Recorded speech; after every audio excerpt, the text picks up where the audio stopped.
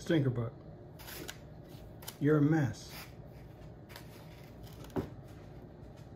What are you doing?